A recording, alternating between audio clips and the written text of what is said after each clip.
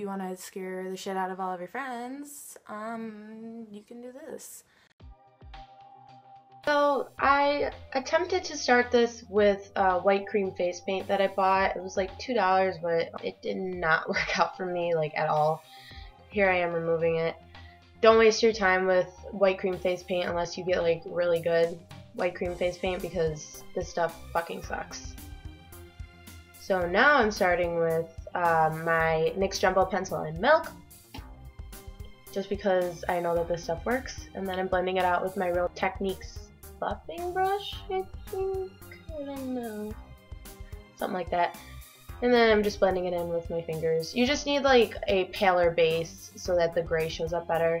But now I'm just setting it with a white, I think it's a white shadow that I got from like Wet n Wild or something.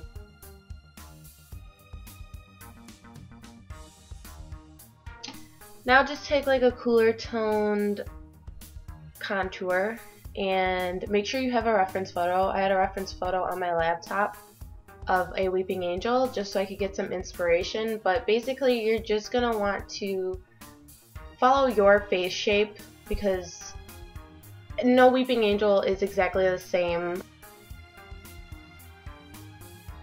following where my cheekbones are and different lines and stuff so yeah it's not all gonna turn out the exact same but this is just how I did it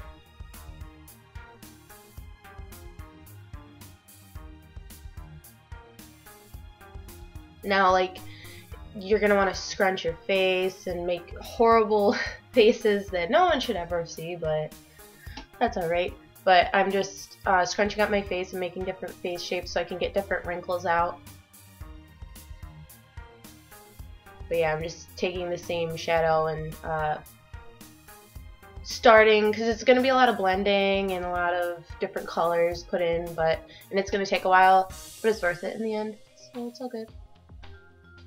And then the lighting got worse because the day was progressing. But I uh, think I'm using a black, just regular black, and then a um, gel liner brush from e.l.f. And I'm just uh, defining the lines in my face more. That's that's a really pretty face.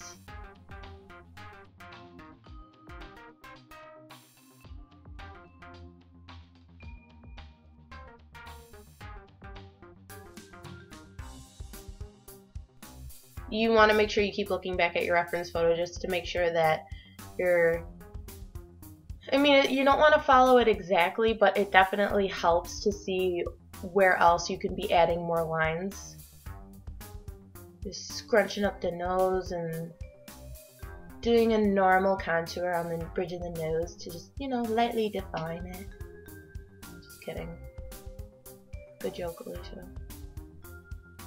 So I'm just going in with like grays, different colored grays, like lighter grays and darker grays and black and different brushes just to, you know, add in color, blend it away, add in color, blend it away. Because there's, you want it to be blended in some places, but you do want to have harsher lines in other places because it's supposed to be dramatic. It's supposed to, you know, it be creepy. It's a, it's an angel. It's a statue.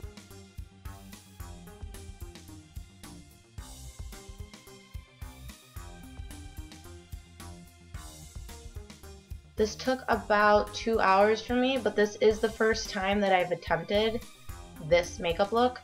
So, you know, just be patient with yourself and give yourself enough time. Don't rush it. It's going to take a while and, you know, it's fine.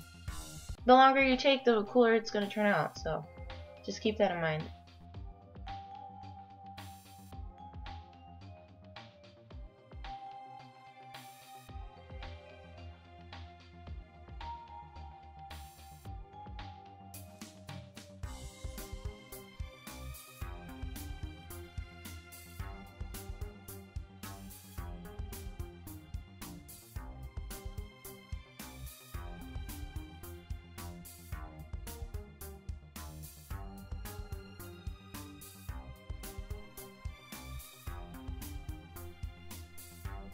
every line that you make you're going to want to blend. Just keep blending and adding in color and shading and all that fun stuff.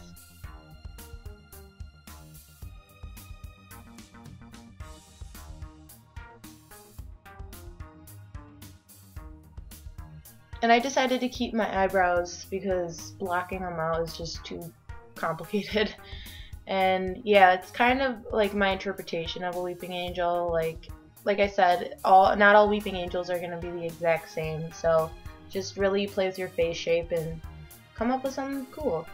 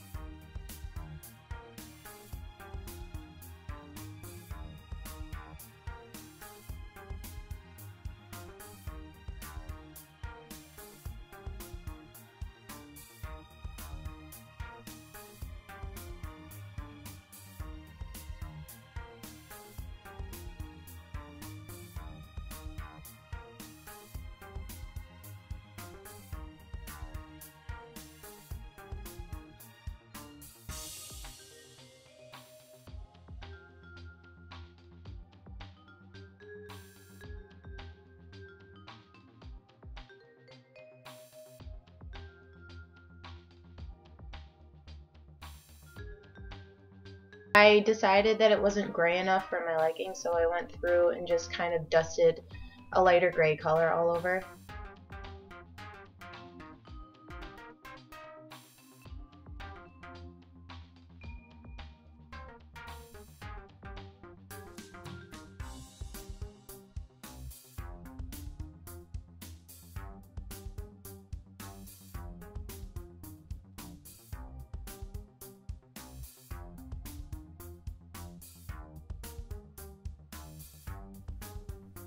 I just wanted to keep this clip in because that face though.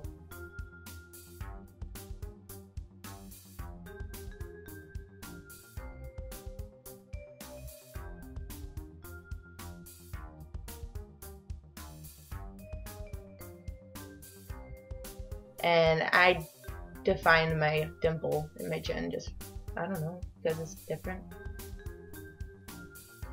Fade out those lips.